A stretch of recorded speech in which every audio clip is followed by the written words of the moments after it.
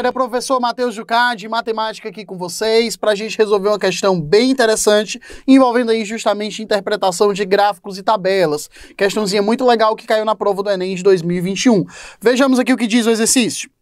A cifra de César é um exemplo de um método de codificação de mensagens usado por Júlio César para se comunicar com seus generais. No método, cada letra era trocada por uma letra que aparecia no alfabeto, um número fixo de casas adiante, ou atrás, de forma cíclica. A seguir, temos um exemplo em que cada letra é substituída pela que vem três posições à frente. Então você tem o original e a letra codificada, né? O A vira D, o B vira E, o C vira F e assim por diante. Para quebrar um código como esse, a análise de frequência das letras de um texto é uma ferramenta importante. Uma análise do texto do romance O Guarani de José de Alencar, que é composto por 491.631 letras, gerou o seguinte gráfico de frequências. Aí você tem um gráfico com as letras de acordo com a frequência de cada uma, beleza?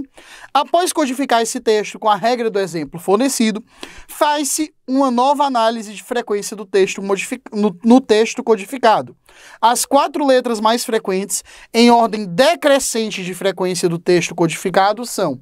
Então, as quatro mais frequentes, da mais frequente para menos frequente dessas quatro primeiras. No texto codificado.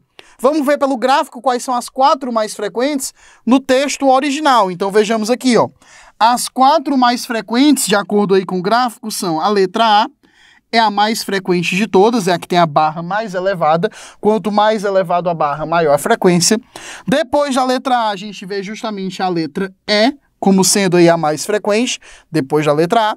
Depois da letra E fica a letra O. E depois da letra O, a gente tem justamente a letra S.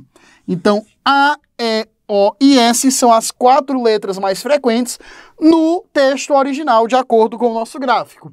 Você vai codificar ele trocando essas letras pelos correspondentes da tabela.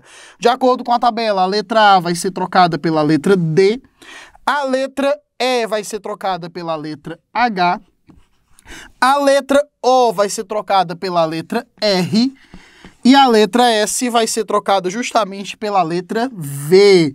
Então, no texto codificado, as quatro mais frequentes vão ser D, H, R e V nessa ordem. D, H, R e V.